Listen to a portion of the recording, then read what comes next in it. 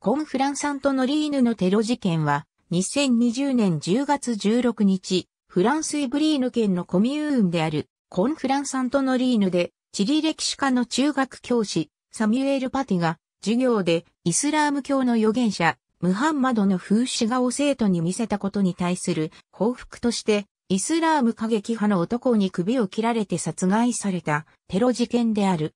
殺害されたサミュエル・パティは、地理歴史家の中学教師で、事件当日の夕方17時頃学校を出たところで首を切られた。犯人はチェチェン出身のロシア人難民とみられ、事件後警察により射殺された。このテロ行為は2015年に起こったシャルリー・エブド氏の編集スタッフに対するテロ事件の加害者の裁判がフランスで行われている時に発生した。その原因と思われていたのは、シャルリエブド氏によるムハンマド風刺画だった。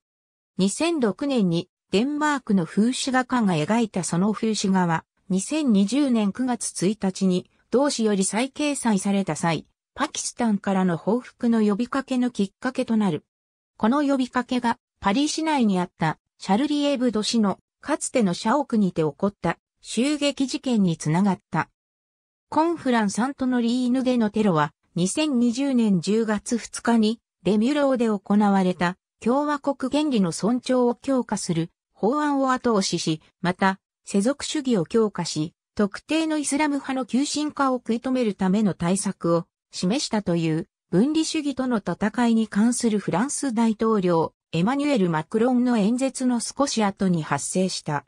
首を切られるテロ事件は2015年のサンカンタンファラビエ事件以来、フランスそしてヨーロッパにおいて2回目であり、2020年に入って6回目のイスラム主義者による攻撃であった。2015年1月以降、フランスは前例のないイスラム過激派によるテロ攻撃の波にさらされている。この事件で亡くなったサミュエル・パティ教授は2015年1月以来260人目のテロ犠牲者となった。またその13日後、新たなイスラム過激主義者のテロ攻撃により、フランス南部ニースで3人が死亡した。